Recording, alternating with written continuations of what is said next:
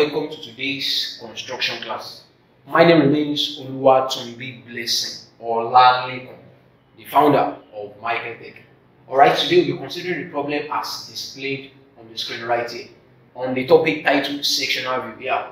So if this is the first time of you watching one of my uh, YouTube tutorials on sectional view, kindly check the link under the description below. You will see the part one of this video where I actually explain all the details of what sectional view actually entails. Okay, so ensure you watch the part one before watching this. So this is the second part of sectional view, and on the part one session of this problem, we considered an hollow object. An hollow object. Today we'll be considering an object with a web. An object with a web. Alright? Now, if you've watched the part one of this video, as I do say, okay, before you can actually say you want to delve into the world of sectional view, first you must have understood perfectly the concept of orthographic projection, conversion from orthographic projection to isometric projection. Then, if you are good with this, then sectional view will be so cheap, like plantain chips to you. Believe me, I can assure you of that. All right. Okay. Now, looking at this problem on the screen, the very first thing you need. Okay, for me as a person now, I don't need to understand how this actually looks like isometrically because I know the answer. Okay, but just to uh, clear the air, just to clear the air, looking at this object, how are we going to view this object if we are to produce it pictorially, isometrically? Okay. If we are to produce this object isometrically, this is what we will be having. Considering the front view and the end view, based on my explanation on previous uh, topics on how to convert orthographic to isometric. This area is my front, this area is my back. These are front view, quite right. These are fronts on the plan, these are back on the plan. If you don't understand that, I think I can actually uh, explain that better. Okay? By okay now let me make use of this object now. Okay, looking at this object, okay, looking at this object, if I have this area as the front view,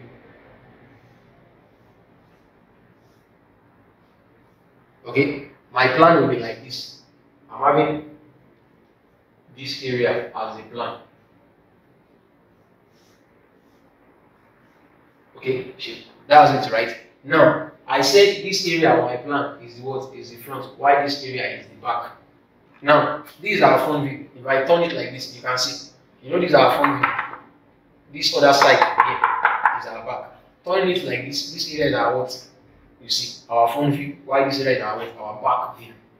You see that? So what does that imply? That implies that this stuff I'm seeing on my front view is actually on the front, while the back is what is plain, like my claim. It is plain. Okay, that's it. So then with that knowledge in mind, which is what I'm using to explain this, our front is plain, our back is plain. So this stuff we are seeing is what right here in the middle. And if that is the case, that object pictorially is going to look like this.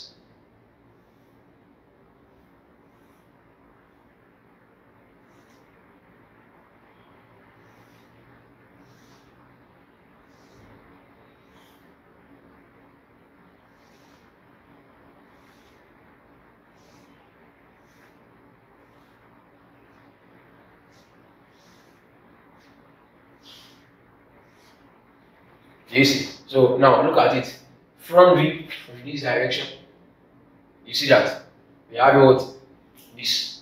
Then our plan from the top, we have what? This. That is it. Cheap like plantain chips. Easy as A, B, and C. If you want to understand how to convert that, I think I have up to like, is it 8 or 9 series video on how to convert views from orthographic to isometric.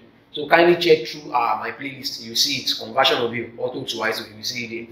Or check the orthographic projection playlist. You find it there, sitting and waiting for you. It is actually sweet and highly informative. Then also it is highly educative. That's just it.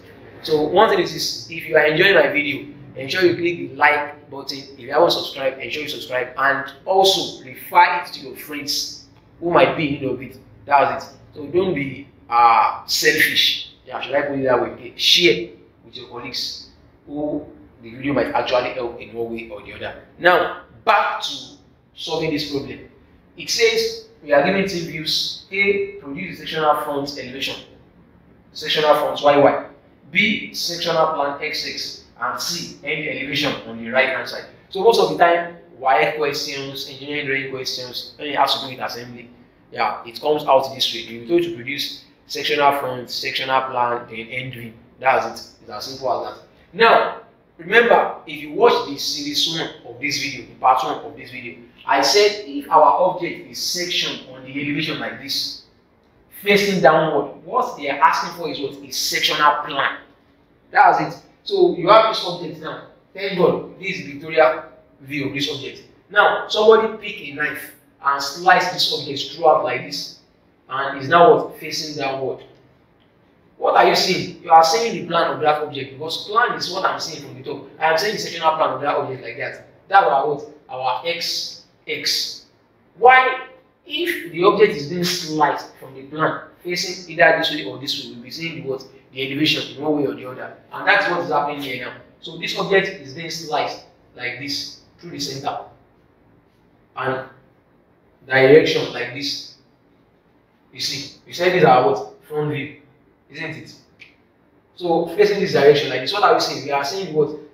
Half of this object, sectional what? Front view. It's as simple as that.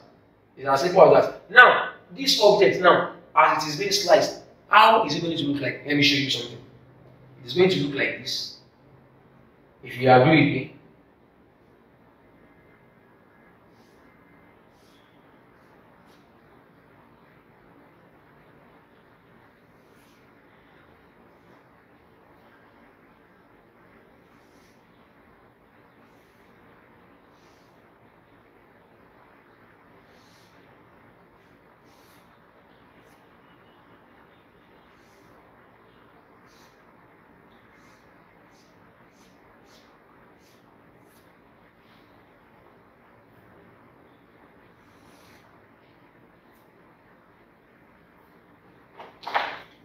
yeah. Let me make it much more okay to see.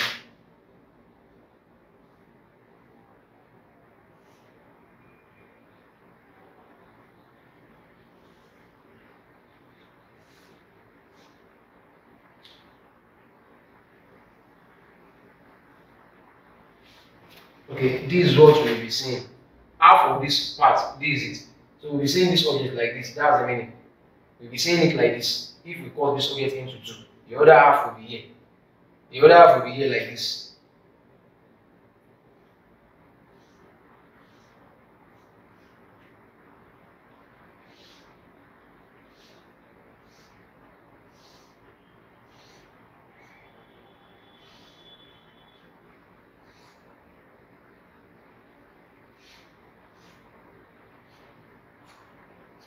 This will be the other half.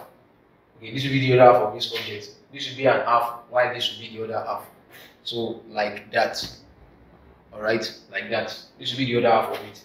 Okay, now our YY, when I cut it, what am I saying? When we cut our object like this, this is what we are saying. So our sectional front is going to be this.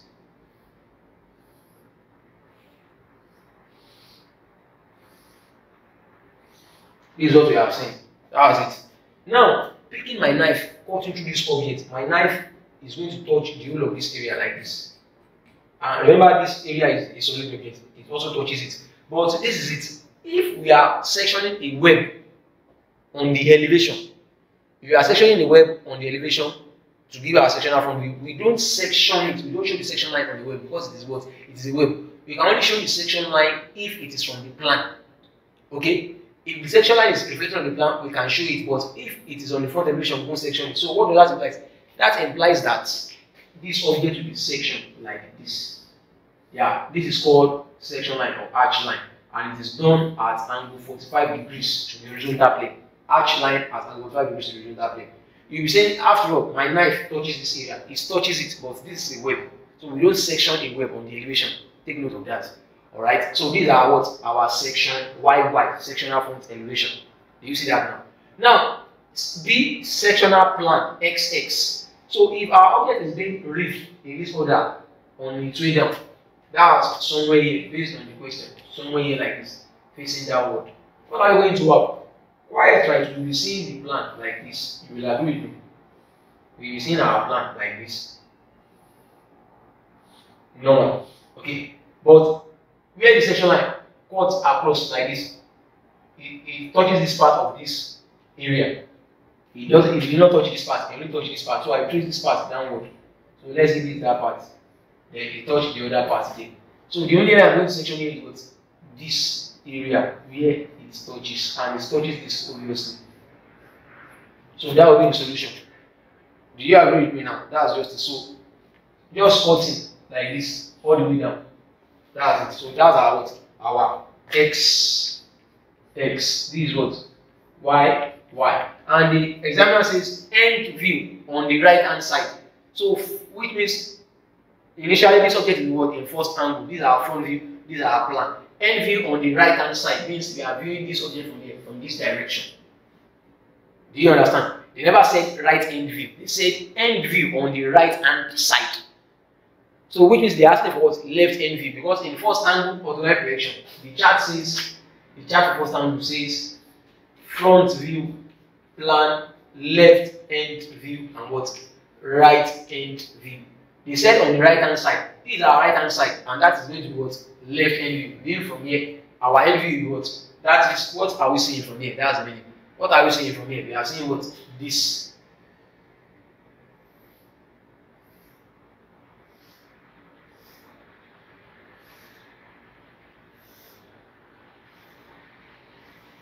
So that is the end. That's the solution to this problem. A, B, and what? And C.